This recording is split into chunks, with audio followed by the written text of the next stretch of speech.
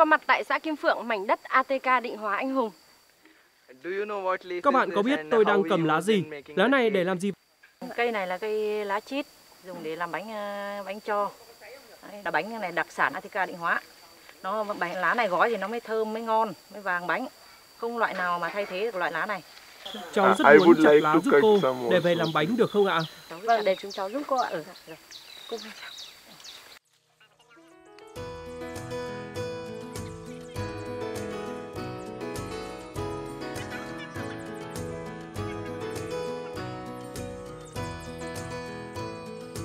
Cách thành phố Thái Nguyên chừng 40 km, mảnh đất Kim Phượng ATK Định Hóa Thái Nguyên không chỉ nổi tiếng về bề dày cách mạng, nơi đây còn được biết đến với những nét văn hóa ẩm thực đặc sắc, trong đó có đặc sản bánh do. Những chiếc bánh do ngon nhất phải được gói từ lá chít. Lá được chọn là những lá tươi xanh, to bản và lành lặn. Cũng có nơi người ta gói bằng lá rong tẻ, luộc hoặc hấp, tước gần lá cho dễ gói nhưng lại không hợp bằng lá chít với những người dân trên mảnh đất Kim Phượng, bánh do như một đặc sản quê hương, thứ bánh mộc mạc chân chất như chính con người nơi đây.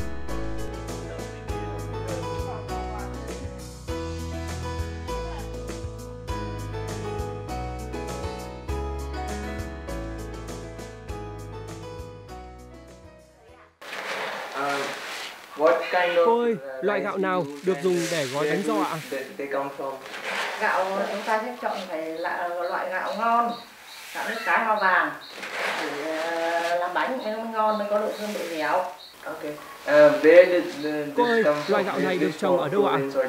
Trồng ở đất mình đây. Gạo Định Hóa đấy ạ. Ừ. Cái gạo Định Hóa đấy. Ờ, Đây là loại gạo đặc sản của mảnh đất Định Hóa. Bạn đã sống ở đây một thời gian rồi. Bạn thấy gạo Ấn Độ và Việt Nam khác nhau như thế nào? Bạn có thích ăn gạo Việt Nam không? Tôi đã được ăn gạo ở Việt Nam và tôi thấy gạo Ấn Độ và Việt Nam rất khác nhau. Tuy nhiên tôi rất thích gạo Việt Nam vì nó rất thơm và dẻo.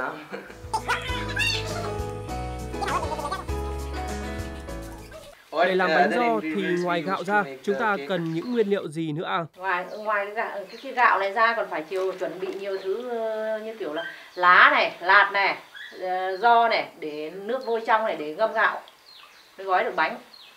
Nước ngâm gạo không phải lấy nước bình thường, nước ờ, lã này mà được mà phải lấy nước lọc ở do do ra. Xong là cho vôi vào. Cho vôi vào khoáng cho trong, trong xong mình lọc đi lọc lại lấy lấy nước trong rồi mình mới ngâm gạo. Chúng ta sẽ ngâm gạo trong vòng bao nhiêu lâu ạ? À? 4 đến 5 tiếng.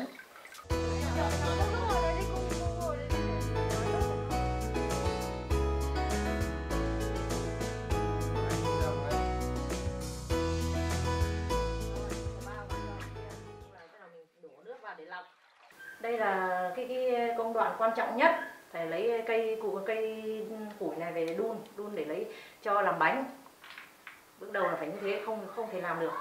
Đun đun phải đun trong khoảng một buổi thì mới mình hót ra đây cho nó nguội nguội mình mới mang mới lọc mới làm mới lấy nước đây là công đoạn quan trọng quan trọng nhất bánh giò đúng không? làm nên bánh giò quyết định bánh ngon hay không là ở cho này để bánh cho thơm ngon lại đẹp thì công đoạn đốt cho, lọc cho cầu kỳ công phu. Những loại cây thường được đốt lấy cho làm bánh là cây vừng hoặc cây đa. Và khâu lọc nước cũng lắm công phu. Vì nhiều vôi thì bánh sẽ nồng, nhạt vôi quá thì bánh sẽ không nhừ, cho nhiều do thì bánh thâm đen, ít do thì bánh lại nhạt.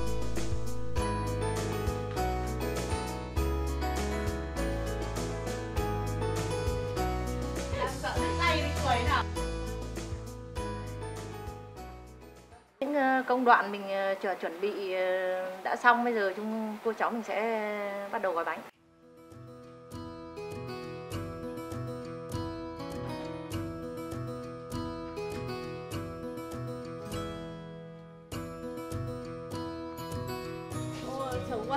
Say sưa ngồi nhìn cô Tấm thoăn thoắt gói những chiếc bánh giò rất xinh xắn. Tôi và Mohit cũng cố gắng để học hỏi cách gói loại bánh đặc biệt này. Cô Tấm cho biết một chiếc bánh đạt yêu cầu phải tạo được cảm giác ngon ngay từ khi mới được bóc ra chứ chưa cần thưởng thức. Bởi vậy hình dáng và màu sắc của bánh là rất quan trọng. Người gói bánh thì phải khéo léo cho gạo vào lòng chiếc lá sao cho gọn, đều rồi cuốn lá và bẻ mép ở hai đầu bánh cho thật khít, đều và cân đối. Dây buộc bánh cũng không được quá chặt để khi đem luộc, hạt gạo nếp có thể nở và chín đều.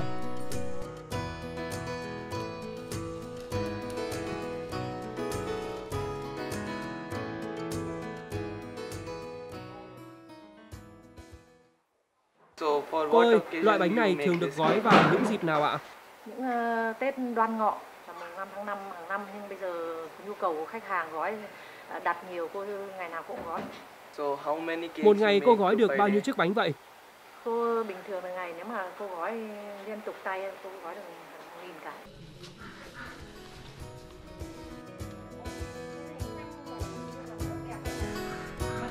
Trong lúc đợi bánh chín, cô Tấm cho chúng tôi biết muốn thưởng thức món bánh do đúng vị thì phải ăn chung với mật mía đã nấu nóng chảy. Có nhà không dùng mật mía thì thay thế bằng mật ong rừng. Tuy nhiên bánh do chấm với mật mía vẫn là hợp vị hơn cả. Bánh làm xong rồi cô mời các cháu ăn đặc sản của quê hương cô nhá. Tôi và Mohit đều rất thích khi được thưởng thức món bánh dân dã này.